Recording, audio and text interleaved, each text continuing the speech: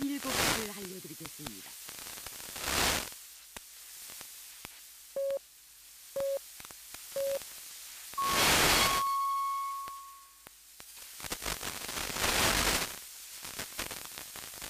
보도입니다.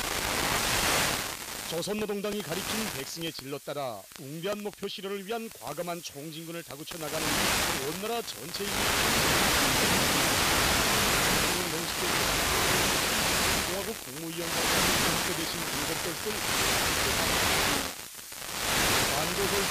애국자 기세의 전철명단을 지키오 누리의 전엄 떨치는 강국의 같은 공지와 가르치는 대가의 천만입니다.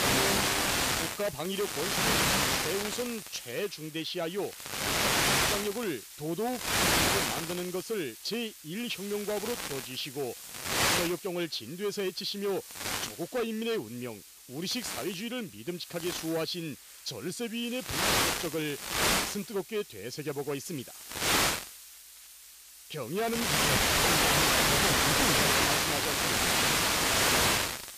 우리는 계속 강해져야 합니다.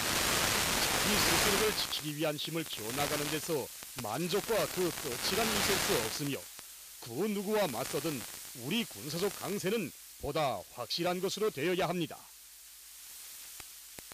경의하는 김정은 동지께서는 날로 가중되는 제국주의자들의 침략 전쟁 책동에 대처하여 우리 국가의 확고한 인명 발전의 필수 불가결을 모시고 우리 하나 하나 와 전사들과 함께 계시며 바치신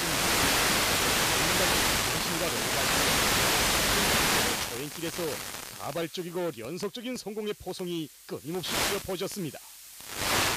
경의하는 총비서 동지의 직접적인 발기와 세심한 표 속에 짧은 기간 안에 모두로 우리식의 위력한 전술 유도 무기 주체 배고 2016년 한 해만도 첫 수소탄 시험과 가디안 공격수단 발사 핵탄두 폭발 시험이 성공적으로 진행됐습니다.